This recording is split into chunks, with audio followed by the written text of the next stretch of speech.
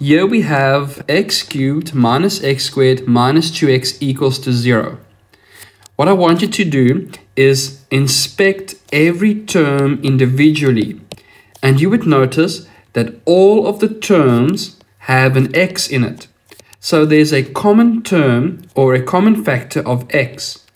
And if I take out a common factor of x, I'll have x squared in my first term minus x minus 2 equal to 0. Now the solution isn't that hard because we've taken out the x. We can see our trinomial inside of the bracket. So if we factorize the trinomial inside of the bracket, we'll have x and x, and the factors of 2 would be 2 and 1, and we're trying to create negative x, so it'd be negative 2 plus 1. So x minus 2, x plus 1. And now, because of the cube, we would have three possible solutions for x. Our first solution is to simply make x equal to 0.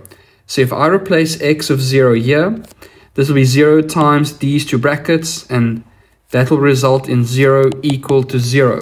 So therefore, x can be equal to 0. Or our second solution would be to make x minus 2 equal to 0. So therefore, x is equals to 2. Or we'll have the third solution of having the second bracket of x plus 1 equals to 0. Therefore, x is equal to negative 1. So don't get overwhelmed when you see cubes. First, inspect and then decide on your best way forward.